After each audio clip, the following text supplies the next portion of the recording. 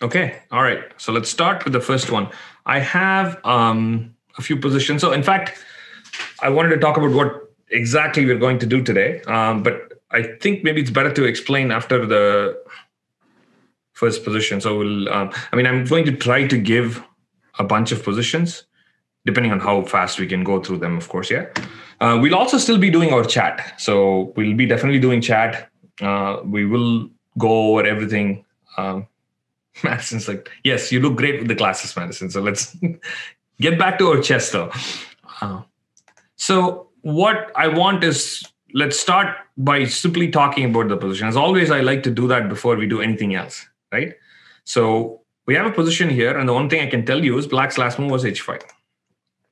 So it's white's turn to play. Yeah. And um, let's kind of go over this and see first basic observation. Remember, I don't like to jump into moves, variations, anything. So all of you can simply you can't try to make any move on the board right now. The, right now the board is simply what you're seeing. At some point, I might ask a question and then you can make a move on the board. So right now there's nothing going on on the board. Uh, just you can see the board. That's it. And you can see the position, and we'll just do that. So why don't all of you start typing in your basic observation? I don't want to hear a move. I don't want to hear a plan yet. What do you see? This is what helps us make these decisions eventually. So let's start with that. Again, it can be very simple, very basic. You don't have to be, you know, anything too complicated.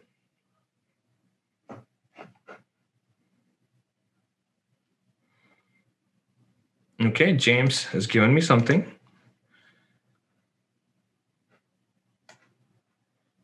Shaunak has given me something. Good to see you, Shaunak.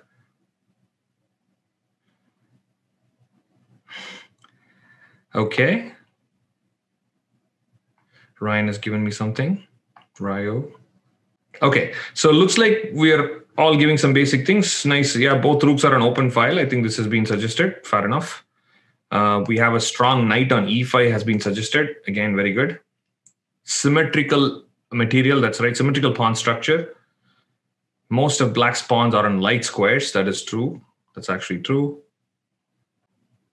Okay, so I guess um, it's white to move, so white could try to get in is what um, is a possibility. But of course, black can also try to get into d2 or d1, and white can try to get into these two squares. So okay, fair enough.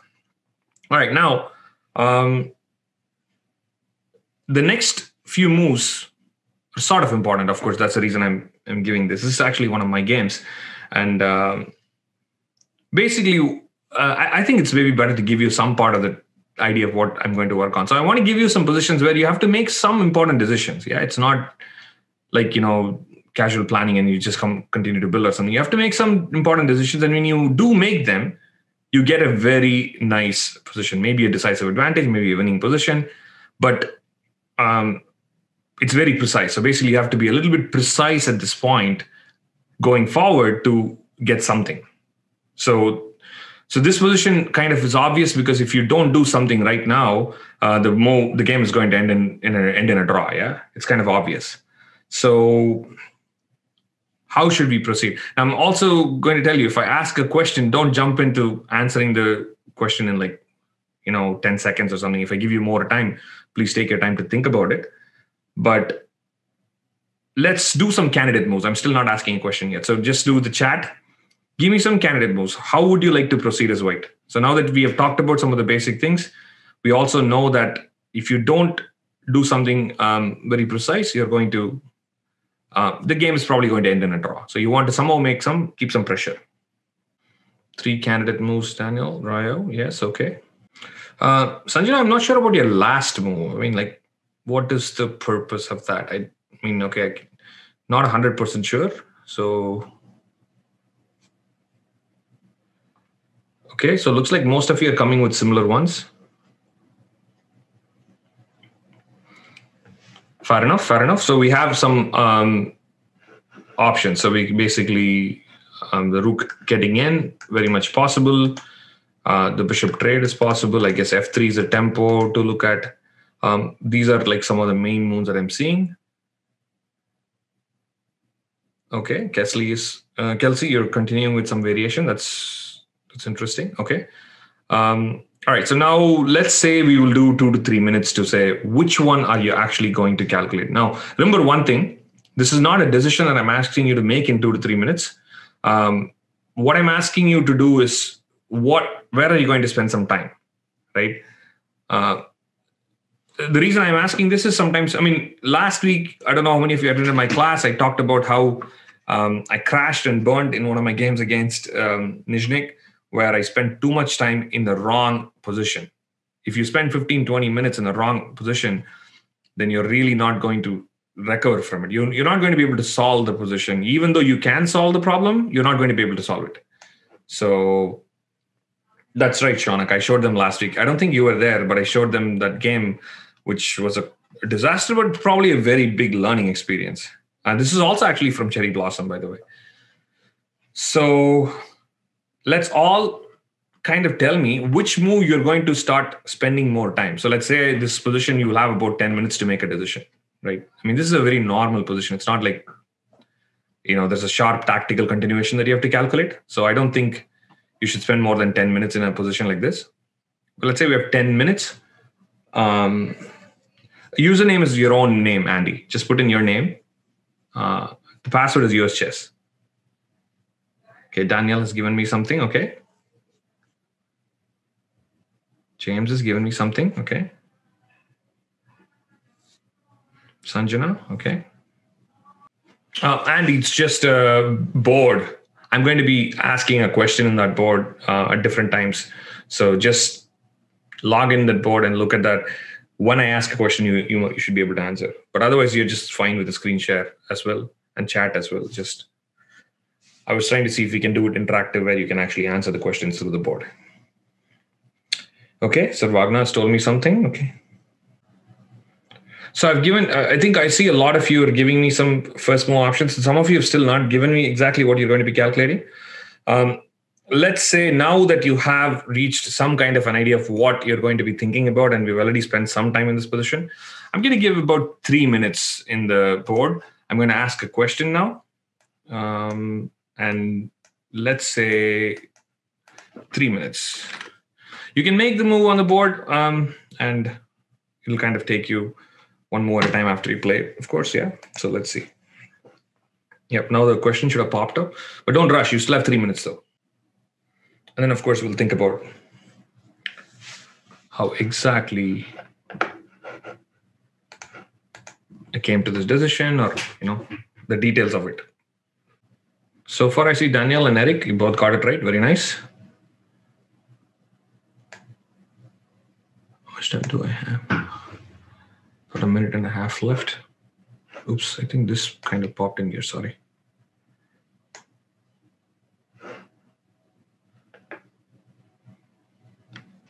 that's okay if you get it wrong i mean it's yeah it's not entirely that you know you have to get the exact move uh, it's more about really understanding the process yeah you get in a great position making sure you make the right decisions it's okay if you make a mistake just let's try to learn from that okay all right let's see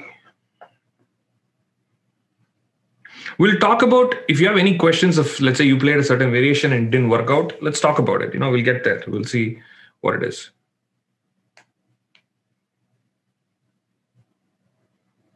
Ryo, I saw that. I so I'm going to kind of ask you on that too. I want to know why. Alexander, was that your first move? Maybe you can tell me what you're thinking about and why you want to do that, and we can just discuss that. All right, guys. So timer is up. I see how many people have got this. So I see four of you: Eric, Daniel, Sanjana, and Kelsey. Got it, right? Okay, so but the thing is, I noticed some of you came very close. I'm not going to be too worried about anyone who played bishop takes e4, knight takes e4, and knight d3. That I think is not so bad. But I do want to hear different other other different decisions. For example, I did anyone pick f3? I see that some of you played pawn to f3 in move one. So did anyone do that? do you want to talk about it? If you played f3, Ryo, you played f3, right? Do you want to discuss why you played f3 or?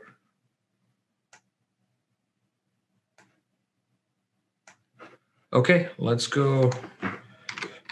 Ryo? Yes, Ryo, go on. Um, I played f3.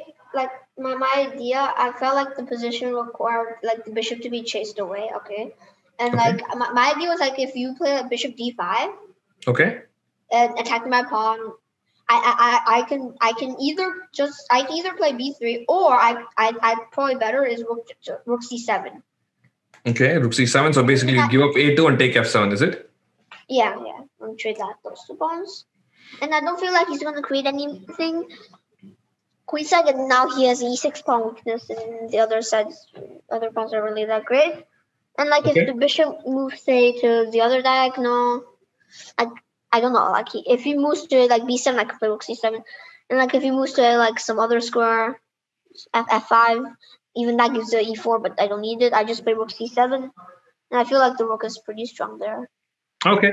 So the main question, though, is I mean, fair enough, reasonable explanation. So you want to get rook c7 in, you wanted to play f3. The only main question is I was playing here, so I can relate to that. Um, I, I was thinking, do I want to trade the bishops or not trade the bishops? That was uh, how I was thinking this, right? Um, I can always play f3 after that, right? Like, so my question is, I can always play f3. I can always play rook c7. My question was, do I want to trade the bishops or no? I, Right. I, I, I felt like the trade. I, I felt like the bishop was kind of awkward. So Okay. Okay. All right, fair enough. Thank you. So my general take here is that I think after f3, you're not really you know, using the full potential of this, um, you know, this bishop on g2 after f3. So if I'm going to play f3 to keep the bishop on the board, or if I'm going to play bishop h3 or bishop f1 to keep the bishop on the board, I was not a big fan of actually keeping the bishop at that point. So this decision came to me quite quickly. I felt like I need to take it, right? And the next point after bishop takes um, and knight takes is again quite straightforward. Yeah, I have my possibility to go rook c6 and rook c7, but I don't want this to become like a you know kill each other kind of a thing here where I go rook c7, they go rook d2. So some of you played rook c7, some of you played rook c6, right?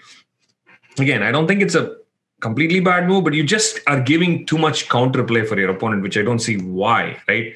Um, so, for example, you let's play rook c6. Okay, so you want to take this pawn. In fact, rook c6 looks a little bit awkward. So let's say I don't know if I should start with a check or if I should go rook d2. Maybe I'll just go rook d2. And the next move, I want to actually play f6. I want to try to take one of these two pawns, and it doesn't look so promising. I mean, like, okay, you're going to either pick up this one or this or this one, or you're going to pick up both the pawns. But what about these pawns?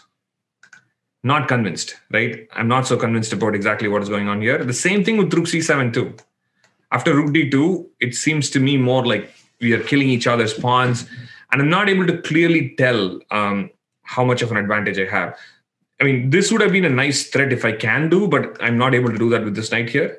So I did consider some ideas like takes and then eventually play f3 and then try to go knight g5.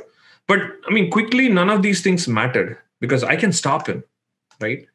So more precisely, f3, knight f6. I think Daniel, you had given me this idea. It's also pretty nice. I can play king f2.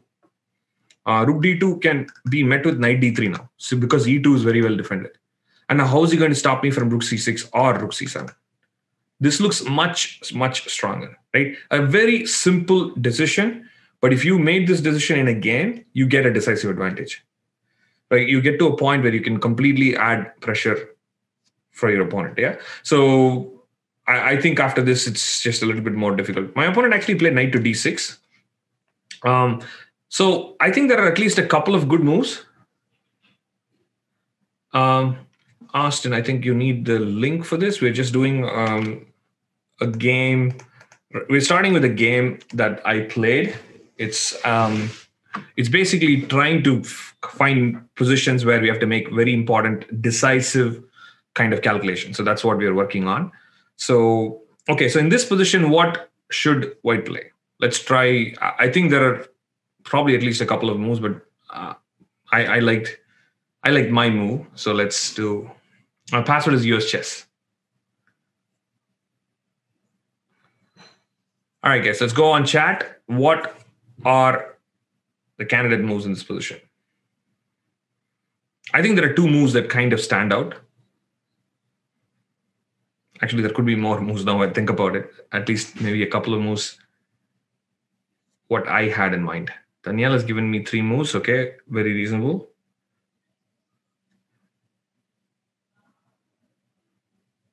Okay. Shaunak has given me three. Andy. Okay. So, I mean, I'm, I'm just going to go through this fast because I have other important positions. I mean, this is you know, important points to discuss.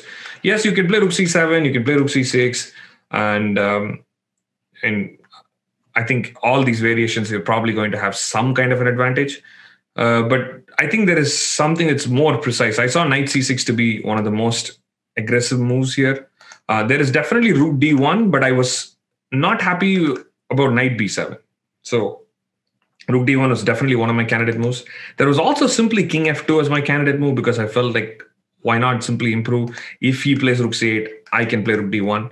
So again, bunch of candidate moves, but I ended up playing knight to c6, which I felt was the most forcing continuation. And I felt, you know, I want to go with that.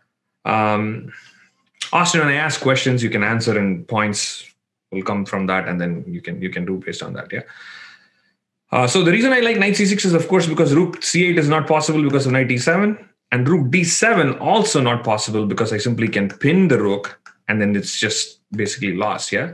So that's the reason why knight c6 immediately stood out for me because I'm basically kicking this rook out of both the open files. You have two open files on the board, and now I'm able to actually handle both right? So knight to c6 was played, and my opponent played rook to a8. Um, I think I'll ask this as a question. The next one is kind of easy, I think. So, what should white play here? I'll just give you um, 60 seconds. I mean, whatever the most active moves, I think uh, black's position is terrible after rook a8. You just need to continue adding the pressure, yeah?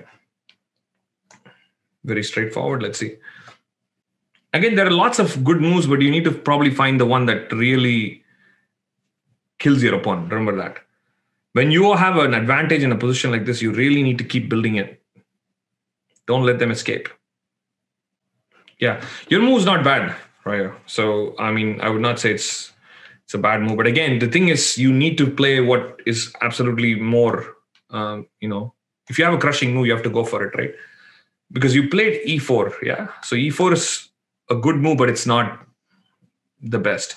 So rook to d1 was what I played in the game. I think it makes a lot of logical sense because the rook is getting in. Yeah. I mean, why would we not do it? And the knight has no good squares. In fact, those who played e4, think about it. You're trying to probably restrict the knight and improve your position, but you don't need to do that yet because if I go knight f5, then e4 is very strong, and the knight has no good squares to go to.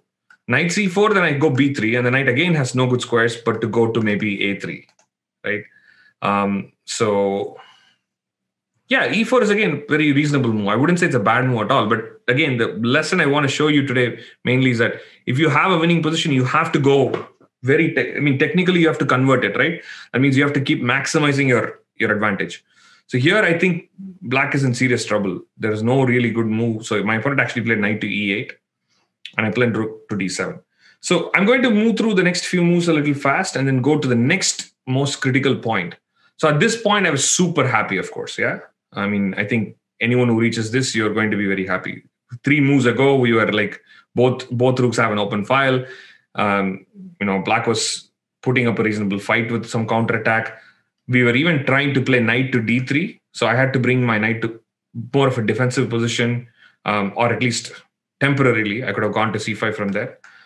Uh, but now I'm not even in a defensive position. Look at this. It's beautifully placed on c6. It actually stopping this just is never possible. Uh, so I was like super happy. I mean, like white and black's pieces are super tied up. So here he played king f8, and then um, again I played knight to e5, hitting the pawn. Pretty forced to play this knight to g6 check and king to g8. So here I started thinking a little bit because again i have a great position but i need to convert yeah he's defending everything this is defended he can play e5 this is under attack and uh, i mean all bad pieces but still defended so i need to make my next breakthrough right so let's say what should well, how do you think white should proceed here I, again i think there are two or three candidate moves that immediately came to my mind so let's see Type in some candidate moves in chat. Everyone, let's go. But Austin, I want you to chat, private chat. Come on. This is a variation, so I want all of you to do private chat. Very nice. So basically, this is what I'm getting. I'm getting knight f4. I'm getting pawn f4. I'm getting king f2. I'm getting rook e7. I guess these are all the active moves. I also got e4, I guess. I got h4 fixing this pawn. So we have a bunch of interesting moves to consider here. Yeah. Okay. Not bad. So what I was doing in the game, of course, is I was calculating knight f4 very quickly, and then I had to reject it quickly because of what um, Austin just initially suggested. Because if knight f4, white black will simply play e5, and I I cannot take the pawn because of g6, so I have to go to e6 and uh, it's not entirely bad uh, but i didn't feel the necessity of simply relocating my knight from g6 to e6 at this point yeah? Because this knight is actually uh, guarding g7 um, i think evan needs a link. Okay. Let's just send him the link very quickly. So the next question of course was since um, white is in such a dominating position i asked myself what is black going to do right i mean the rook cannot go to c8 because of knight e7 check the knight has nowhere to go. King cannot go to h7 because knight f8 check picks up the pawn, right? So I really thought only two moves are possible for black, right? At least to make progress. I mean, I can play a5 kind of moves, but okay, I'm really not doing much with that. Um, e5 and f5 were the moves that I thought black might play. So then clearly e4 and f4 are very much part of my candidate moves. It turns out I think the strongest move in the position is king f2 um, technically. I played f4, controlling e5. I think most of you gave me this logic, which I really like, is that, you know, stop e5. Yeah. So I like this because this pawn is something I can actually attack. So I can kind of fix that as a weakness. So my opponent actually played e5. I kind of had a sense he might do that um, because he's in such a bad position. I think it's not easy for him to do much. So it was reasonable for me to think that he can play this. Now, yeah, interesting point for me now. Yeah, I can take and win the pawn. I can play f5 and close the position. I can ignore and simply play king f2, right? Again, there's no right or wrong exactly here, so I'm not going to ask a question, but um, let's see what you pick. What would you play in this position? Chat, just chat when we have a very clear yes or no kind of an answer situation, I will probably ask the question in the board. Harish says, take it. Honestly, all three look good. That's actually a good point. Daniel, this is exactly the problem with the winning position. Yeah. So right now, I think you've gotten to a very clear winning position. You just have to pick from one of the best moves, and it's always tricky. Take the free pawn. Okay. Some of this saying F5 knight evan doesn't want the knight to be on f6 i like that. King f2 keep the tension and make him think. I like that shaunak if you don't take it then what's the point of f4 well austin it's not necessarily just to win the pawn. You can also go f5 by the way f5 is a strong bind too right? Um, so i mean king h7 was one of the other ways for the black king to escape. And f5 will really create some checkmating nets right trickier because it gives black a little bit of counterplay with knight f6. Sanjana, that's right. Okay, so moving on, uh, I actually played king f2. And I have to say, I didn't calculate everything precisely. Um, I spent a lot of time on this, and I was really tempted to take the pawn because I was like, okay, he's giving me a pawn. If I don't take it now and I don't get the opportunity later on, would it be like a bad decision, right?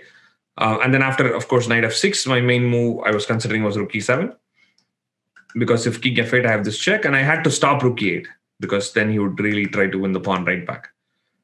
And I felt I should be good, but okay, black probably will get some rook c8 and get the rook in, and then I have to probably get knight d3 and then king f2. Um, I was thinking there's some knight g4 ideas to take this pawn, but then I can go after this pawn. Overall, my assessment was that white should be better. White should definitely be, uh, I mean, better in the sense not just simply better. White should win, I think. So I don't know if I'm that far off. Probably it's still um, reasonable assumption um, for for me to make. But I felt that in a position like this, what would your opponent want to do? In fact, I was very happy about this because in my after the game, I was talking to my opponent and he said exactly the same thing, right? He would have been extremely happy if I took the pawn. So he was really, really looking forward to get his pieces to move around a little bit more. So he was saying that um, he was really hoping that I would take the pawn and then he can at least play some active chess. That is one of the main reasons I actually declined. And f5 is also possible, by the way. Um, the reason I rejected f5 was I was in, I was kind of worried. I mean, I would say worried.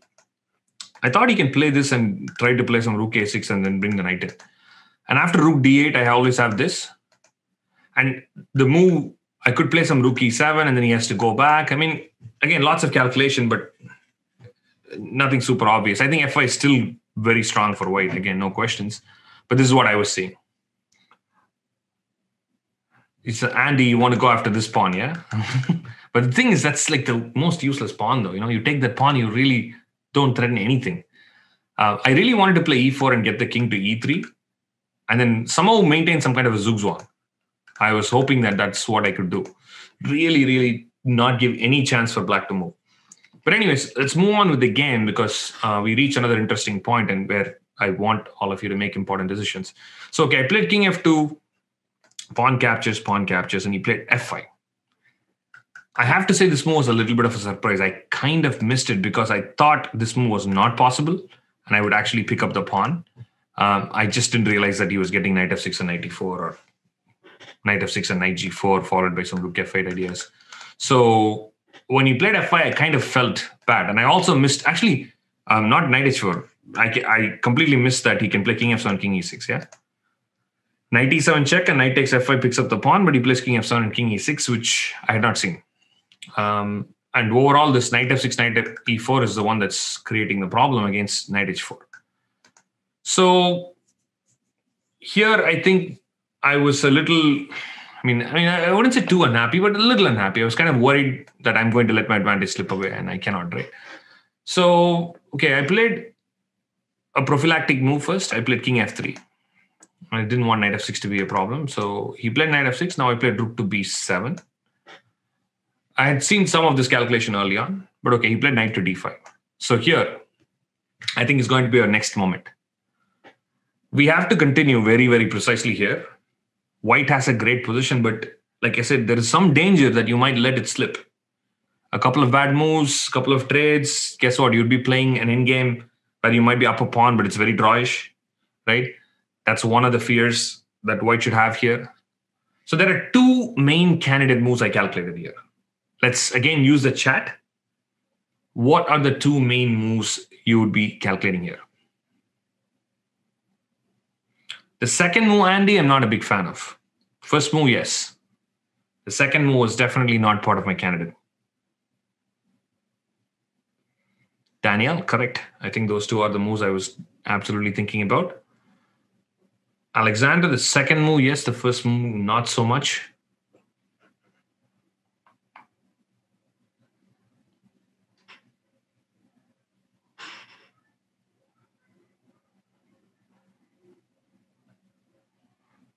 Okay, so Shaunak, the second move. Uh, your third move is possible, but uh, I'll tell you a little bit more to see how we can avoid it. Havish, the same thing. I think a lot of you are playing knight e7. I'm just going to just tell you I'm not a big fan of this move because I don't think this knight and this knight are equal. And I think white would, of course, still be better in the rook and pawn game. Uh, but with the knights off, black might be probably feeling a little bit, little bit more relieved if if anything. So I just didn't want to look at 97 as much. Andy, yep, I like this move. So I think most of you have come with the first move as very forcing and very important. So what I'll do is I'm going to ask a question right now. Again, I'll give you like three minutes. Um, you want to really pose a problem for black, right? Black at this point has weaknesses all over the place. You can probably attack a lot of things. Um, but the thing is, if black defends everything, then okay, again, I, I don't think white got anything, right? So let me ask a question right now, and let's say three minutes. And okay, so how exactly should white proceed? So let's just, I'm just going to ask um, two two moves at a time. I'm not going to ask too too much past that. Okay, so think about it. Don't rush into your move yet. Think about it, and then you can play. Evan, I played against um, uh, Thomas barton so a strong player from Philadelphia. I think Philadelphia, Pennsylvania. I think Philadelphia. Yeah. I played against him several times, and he's actually known for coming back. The last time we played, actually, I was completely winning, and he came back to make a draw. Shaunak is like, I remember this game. Bartel. Okay, Ryan has it. I like it. Um, well, I didn't give the two options. Havish, uh, but okay, I guess one of them, pretty much every one of you kind of got it. I feel like I don't need to tell you that. So continue on whatever your instincts are, and then after you, you, we make the moves, I'll I'll talk about them.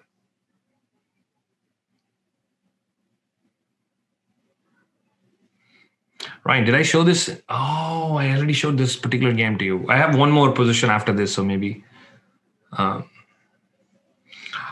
did you start from the initial position, Ryan? How did you get the initial one wrong then? I showed it from this position. Aha, uh-huh. okay. So that's where we are. So watch out, Ryan. Might be ready. Eric, you kind of played the other one, other move.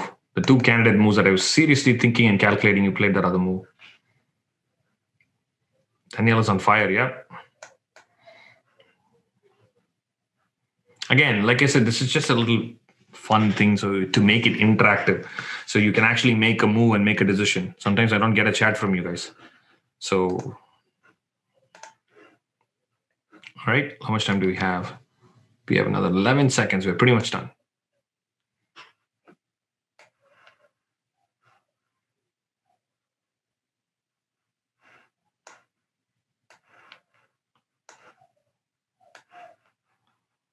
Okay, so timer is up. By the way, the two moves that I was talking about is one was e4, the other one was knight h4. These are the two moves I was really considering.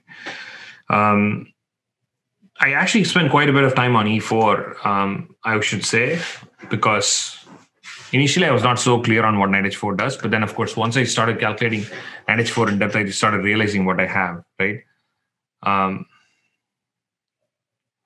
so Sanjana, yes, the problem with rook d7, first of all, is you're repeating moves, yeah? So in fact, if you think about it, this was a position, right? This was a position. You go rook b, I went rook b7 and then knight d5 was played. So essentially we're repeating moves with um, rook to d7. So Shaunak, you also did the same thing, right? And Evan, I guess, um, I don't know if you did the same thing. So obviously knight h4 is the most forcing move. So when I asked you about candidate moves, I think most of you picked knight h4 which makes a lot of sense. It really forces black to play rook f8, right? So the other move, like I said, is e4, which really advances the king. And after knight f6 check or something, and then I can go further in. There might be checkmate threats, and my king is basically super piece there. So, ah, so Sanjana, you wanted to move your rook to c7, yeah? Problem is, I'll go right d5 again, attacking the rook, right? Okay, anyway, so let's look at knight h4 after rook f8. Now again, yeah, rook a7 is the first candidate move to consider. But the problem with after rook a7, rook f6, and everything is defended. So it doesn't look like we have anything clear, yeah? Actually, I'm trying to remember why I did not play rook to c7, Sanjana. Let me go back here very quickly. So Sanjana is thinking, why not rook to c7? Because after knight to d5, she wants to play this. But maybe I have king f7 and king here. Can I try that? Um, not so sure. King f7, knight h4, you're right. And you're actually winning that pawn. Oh, by the way, I simply. Ah, rook d8, you're threatening rook d5. That's the reason. Okay, okay, okay. That makes more sense. So let's see. I'm not able to remember exactly what put me off in this particular variation. And after king h7, I guess you'll still play knight h4 and pick up this pawn. Yeah, it looks kind of so king f7, knight h4. Maybe this is one of the variations I did consider, but I think knight f5 here. Yeah. Yeah, it looks like definitely white is good here too. And I wish I can exactly tell you what the problem was. For some reason, I was not, or maybe I saw this other variation and I thought thought this is better and I went for it. Not hundred percent sure. Yeah, but looks like your move is fair enough, reasonable. Yeah. Okay, knight h4, rook f8, and yeah, rook d7 makes a lot more sense because I want to attack the pawn from the rank. Yeah, I don't want to go through the file. So after rook d7, basically every move's kind of losing. In fact, if knight b4, I play a3. If knight c2, I play rook d2, and the knight actually has to go to a1. That's kind of sad. and I can go rook d6 here. So, and knight f6 simply runs into rook a7, and I'm losing a pawn. So knight b6 was played in the game. Um, so here again, there are a couple of interesting moves. Let's say there are two candidate moves. What are the two candidate moves?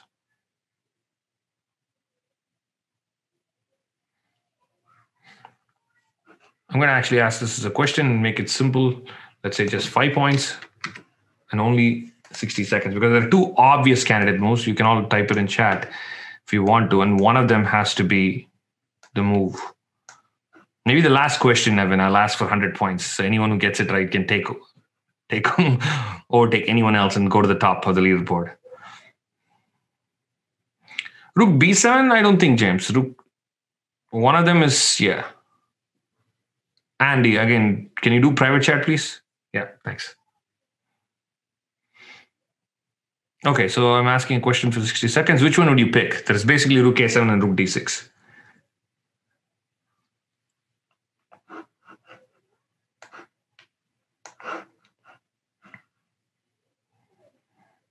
Ryan, you got it wrong. How did you miss it? James, you can make a move. I asked a question or, uh, or the board, yeah rook behind pawns. I'll tell you why I picked the move I did.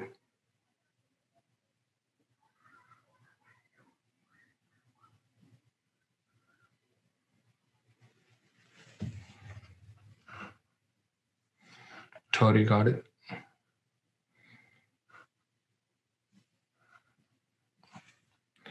Okay, who can tell me the timer, okay, in 10 seconds.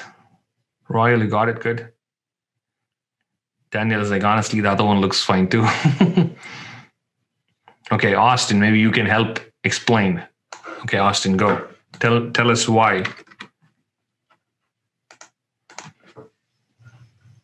Uh, so I thought that if you play uh, rook d6, and black might be to play knight c4, and then if rook a6, then knight b2, and black gets to trade the pawn instead of just losing the pawn.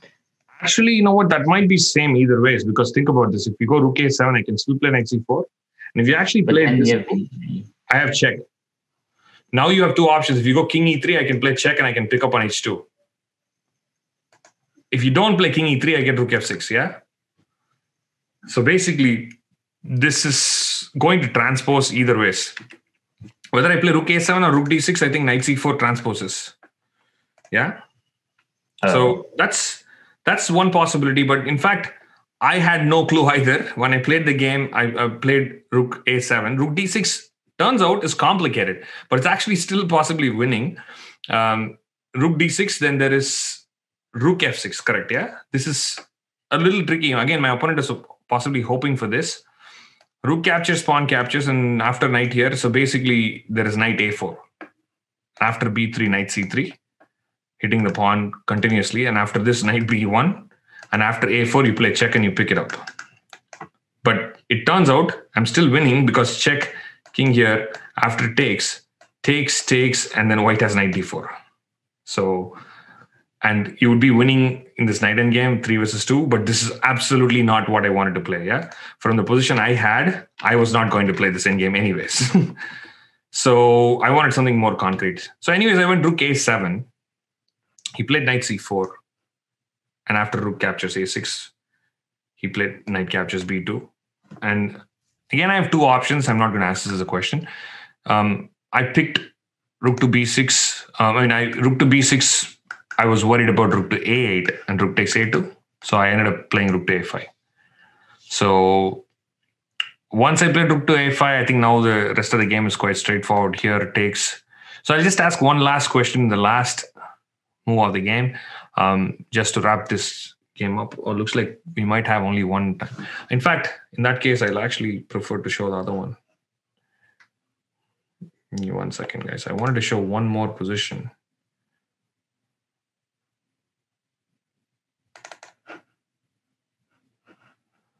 So let's see if I can really pull it up.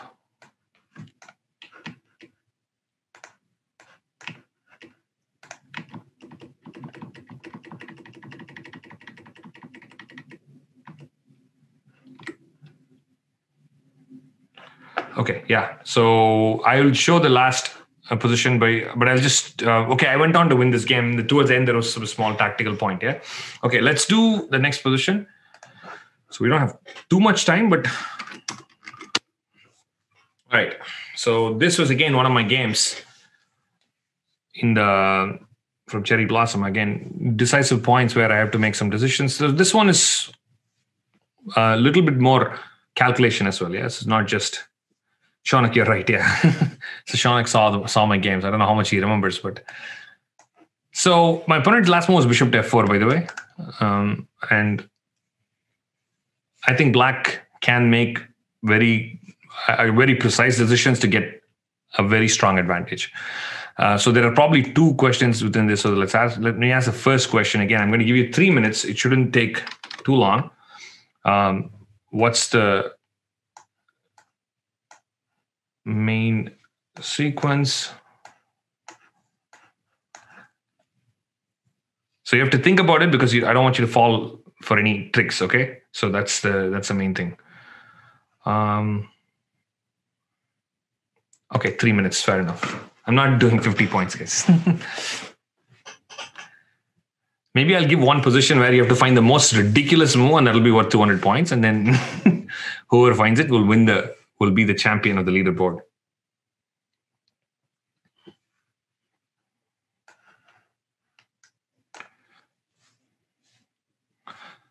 So obviously, there is a simple tactical idea, and my opponent has some.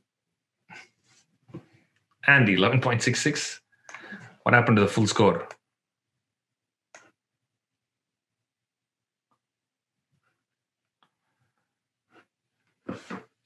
Yeah, my opponent clearly saw the tactical idea, of course. So do, before you make your move, think a little bit. Yeah, I know most of you are thinking some tactical ideas, and it's very straightforward. Yes, it is, but it's not like you know White simply blundered that and didn't see it. White has a plan too.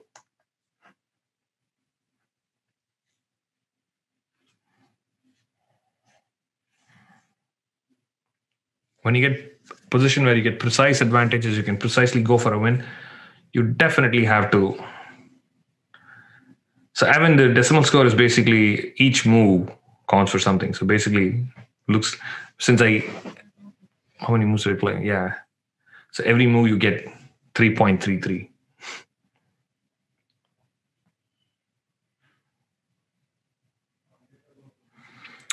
All right, how much time do we have?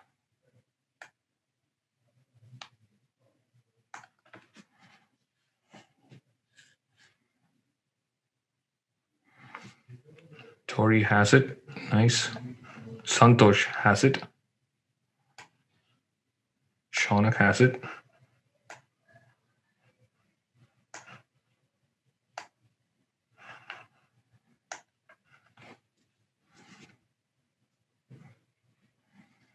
Okay, so you remember that part. Okay.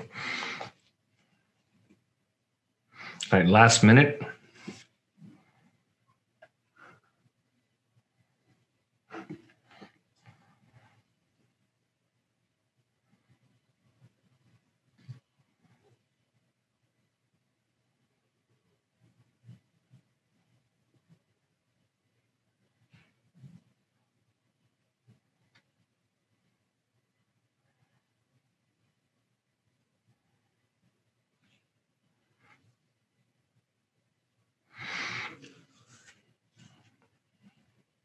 Are going to have a 200 pointer?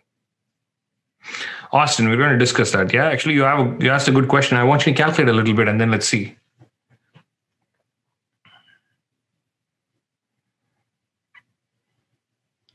Daniel, we'll talk about that too. Yeah. All right. So timer is pretty much up. Okay. So clearly, my opponent missed queen d2. So I mean that the minute I spotted queen d2, I to me it felt like okay. So of course, first bishop f4 looked a little shocking because I have knight d4. Why is he playing this? Then clearly I see okay, his plan is to play knight takes e6. Yeah. So and the problem with this is that after knight takes d4, knight takes d4, rook here, knight here, either move. Actually, it's not so clear. Let's talk about it. Let's say you play rook f6. So what will white's move be here? It's kind of obvious, yeah? So of course, I'll play c5. Now suddenly things are not so easy, right? At least not like it was, right? You can try some queen d2 moves now, but of course now you're giving me a discovered check first. I don't know, maybe knight d4 check followed by queen e3. I don't know exactly, but um, you have given me an extra move, right? And the same thing after rook f2, yes. And the, the thing is, you need to worry about this move. I think um, I can even take and do it. I don't know if I should play c5 take. For example, let's say take, you play check, I go king g3, you take my rook, and I go c5. And I think the position is extremely unclear because if I get knight g5, it looks very dangerous with knight f7 check. I know my rook is kind of bottled for now, but if I get king h2, my rook will definitely join in. So, okay, maybe black with precise play even here might win. Sanjana, what is that variation? Let's talk. About, let's look at it. So after rook f6, c5, what did we see? Now queen d2. Okay, maybe I don't even know what exactly my move should be because if I go knight g5, I'm worried you might get bishop d5 in. Um, after knight d4, you want to play. Hold on, let me just check Sanjana's variation. What is the variation again? After knight d4, rook f7. Okay. Should d5, knight takes c4. Oh, that's very interesting. I think. Oh, knight takes c4 doesn't work. Austin, queen takes c1 check. Yeah. Okay. Anyways, I think it's possible. Yeah, Sanjana. I think it's very much possible. But why allow all of this? Yeah. Queen d2 is very strong. Again, very precise moment. Your opponent gives you an opportunity. You need to finish off the game, right? Queen d2, and I think game is over. So here, I was expecting queen e3 as a main move, and after rook takes f2, I'm just going to be up a pawn. So this seems to me like clearly better for black. Uh, instead, he played um, rook c2. Okay, so now this is a, a clear mistake, and now black is winning even more, more so. So you want a big question, but I cannot. I have to be fair. If I'm going to give 100 points for this one, it's not going to work, guys. so I'm going to give another three minutes and let's see who's tactically going to solve this problem and win the game. Okay. Um, as it is, your queen has a bunch of options, probably two main checks that you can play. And I'll make it 20 points. Okay.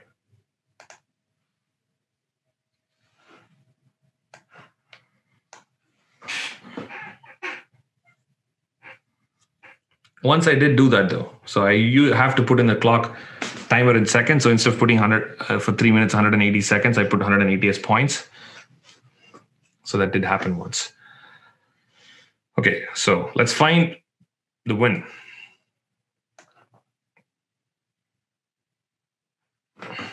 So Sanjana, I think you went too fast.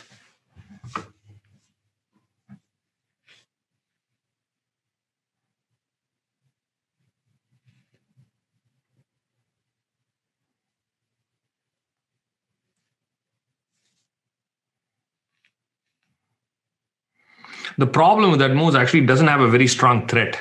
That's the only issue. the move you played, Sanjana. Yeah. Well, think about it. What are you actually threatening after that? Because I always have f3 when you play e3. So even then, yeah, even then, I will play f3. Ooh, looks like most of you. Raya is the only one who got it right so far. Oops. Wait, what did I do to the alignment of the board? I messed it. My bad. Okay, let's see.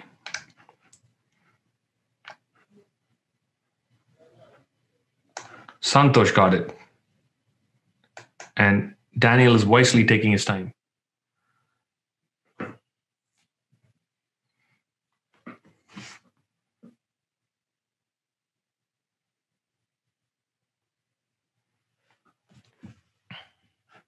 Yeah, good job, Santosh.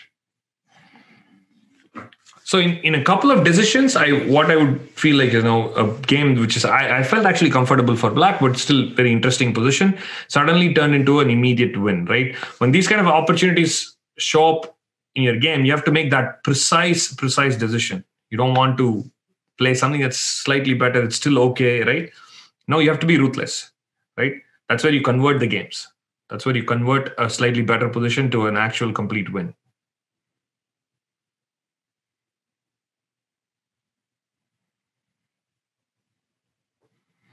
Let's see, Austin, how does that work? Um, actually, you're still not threatening anything in that position, yeah? After e3? I'll play rook takes f2 first. Sure, yeah, let's look at rook, rook takes rook g4. Is the time up? It looks like we have six more seconds. I think Daniel went for the same thing, yeah? I think you played the same one that Sanjana played, Daniel. So let's take a look at it. But you still edged out everyone to lead the leaderboard. All right, so I had seen this very quickly because I've, I mean, this knight is trapped, right? So queen d1, king h2. First, let me point out that this is just winning a piece. Again, it's simple chess. I don't have to worry about anything because c5 is always met with bishop d5. And after knight g5, h6, you just won a piece. I didn't need to calculate anything after this, right? Um, the only thing I needed to check is is anything very complicated, right? Uh, is white actually going to attack my king? Is there anything complicating that's, I mean, is there, any discovered attacks or anything, right? Uh, you thought this was too simple. Well, I mean, my opponent also probably didn't realize that the knight on e6 could actually get trapped, right? But okay, let's look at rook g4. It's probably a good move, but the problem is I don't see it as an as a, as a major threat. Okay, so what are you threatening? Because rook g2, king g2, after e3, I play f3. That's still not a big threat. And then e2 is a threat. I mean, that seems too much, though, right? Don't you think? Um, but in that case, maybe I will play. Um, what if I play knight g5 then? Yeah, knight g5 is a good place to start. Let's do knight g5. You cannot play rook g2 anymore because I can take and maybe even play knight f3. Or actually, e3, I will play f3. Actually, yeah, f3. Ah, after c5, you have queen c4. I actually I missed it. I was thinking after e2, I can play rook takes e2 and queen takes e2. I have c5 check, but you have queen c4, so that doesn't work. So let's try it. So you're playing e3.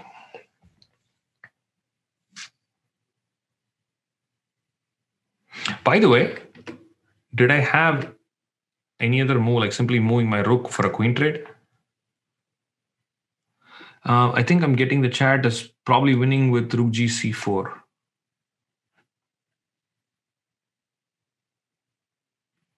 I'm not sure in which position we are rook g. C4. Oh, maybe after e3, yeah, the rook coming in. Okay, okay, yeah.